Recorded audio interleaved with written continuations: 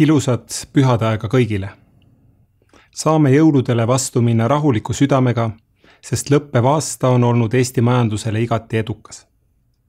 majandus kasvas, palgad ja pensionid tõusid, samal ajal maksukoormus ei kasva ning valitsuse võlakoormus väheneb, püsides Euroopa Liidus kõige madalamal. kui üksikult vaadata, siis oleme teinud kolm tulevikku vaatavat otsust.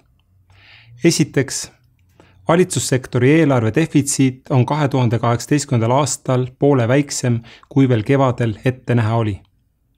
teiseks otsustasime, et õlle ja kange alkoholi aktsiisimäär tõuseb veebruaris poole vähem kui varem planeeritud. ära jääb ka diislikütuse aktsiisitõus, mille eelmine valitsus järgmisse aastasse plaanis.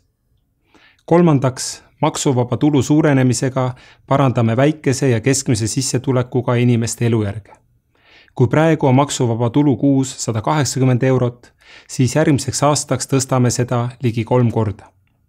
kui sa teenid kuus keskmiselt kuni tuhat kakssada eurot, tõuseb sinu maksuvaba tulu kuus viiesaja euroni.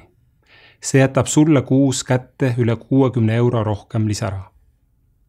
hea meel on ka tõdeda, et saavutasime kõik Euroopa Liidu eesistumiseks seatud eesmärgid maksu- ja finantspoliitika valdkonnas panustasime sellesse, et Euroopa Liidu maksusüsteem oleks tulevikus selgem ja läbipaistvam ning finantssektor vastupidavam võimalikele raputustele.